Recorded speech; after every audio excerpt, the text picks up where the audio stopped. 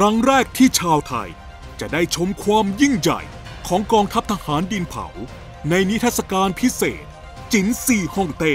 จักรพรรดิองค์แรกของแผ่นดินจีน กับกองทัพทหารดินเผา ที่รวบรวมโบราณวัตถุชิ้นสำคัญ บอกเล่าเรื่องราวความเกรียงไกรของแผ่นดินจีนเมื่อกว่า 2,700 ปี จากมรดกทางวัฒนธรรม แห่งราชวงศ์โจตะวันออก สุสานจักรพรรดิจินซี และสุสานราชวงศ์ฮั่นจำนวนถึง 133 ชิ้น นิทรรศการพิเศษครั้งนี้ แบ่งออกเป็น 4 ส่วน เริ่มตั้งแต่พัฒนาการก่อนการร่วมชาติ ยุคราชวงศ์โจตะวันออก เล่าถึงการสั่งสมเทคโนโลยี และวัฒนธรรมจีนไม่น้อยกว่า 500 ปี ของราชวงศ์โจตะวันออก ก่อตัวเป็นอาณาจักรที่เข้มแข็ง และวางรากฐานธรรมเนียม ความเชื่อในอารยธรรมจีนช่วงเวลาต่อมา ส่วนจัดแสดงถัดไป กล่าวถึงจินซีฮ่องเต้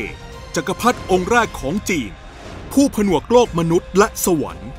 เล่าถึงความสำเร็จในการรวมรัฐทั้งเจ็ดให้เป็นจักรวรรดิหนึ่งเดียว และการแสวงหาชีวิตอมตะของจินซีฮ่องเต้จากนั้นจึงเข้าสู่ส่วนจัดแสดงที่เป็นหัวใจของนิทรรศการ คือ สุสานจินซีฮ่องเต้มหาอาณาจักรใต้พิภพ จัดแสดงหุ่นทหารดินเผาอันน่าทึ่ง จากการขุดค้นพบที่นำพาไปสู่การไขความลับ ในบันทึกของซือหมาเฉียน อารักษ์แห่งราชวงศ์ฮั่น ที่เผยความมหัศจรรย์อันยิ่งใหญ่ของสุสานจินซีฮ่องเต้ปิดท้ายนิทรรศการด้วย สืบสารความรุ่งโรจน์ยุคราชวงศ์ฮั่น เป็นการต่อยอดความเจริญรุ่งเรือง ความร่ำรวยทางการค้าที่กว้างไกล ไปยังอีกซีกโลก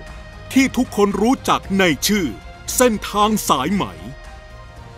นิทรรศการพิเศษจินซีฮ่องเต้จักรพรรดิองค์แรกของแผ่นดินจีน กับกองทัพทหารดินเผา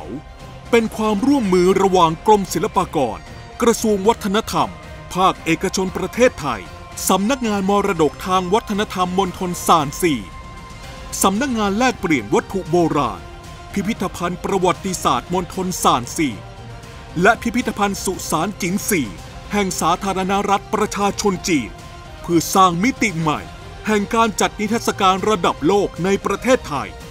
ภายใต้มาตรฐานการอนุรักษ์ควบคุมรักษาสภาพแวดล้อม และความปลอดภัยในระดับสากล เปิดให้เข้าชม ตั้งแต่วันที่ 15 กันยายน